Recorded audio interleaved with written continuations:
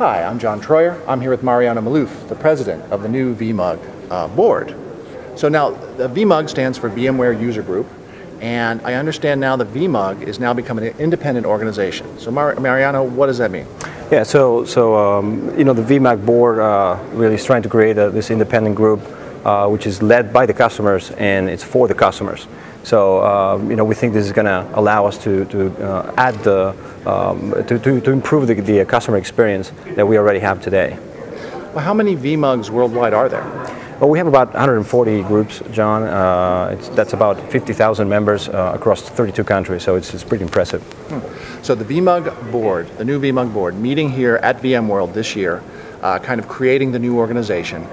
Um, what is that going to mean for the existing VMUG members and new VMUG members? Um, some people have been going to VMUGs for years. That's right. That's right, and that's a great question, John. We, you know, one of the things that we're trying to do is we're trying to listen to um, the community, uh, get some feedback on, on the things that uh, are, are important for them, and you know, ideas and suggestions on how to improve the program. And uh, we're sending out surveys. We're talking to them in the field uh, in, in these regional events, and uh, you know, I think uh, we're we're um, on on on our way to. Uh, get some ideas out there to improve the program, but we're also looking for, for, for new stuff. Okay, so if people do have suggestions or ideas, and in fact, a lot of people come up to me and ask me, where can I start a new VMUG? Because in my town or in my country, uh, we don't have very many.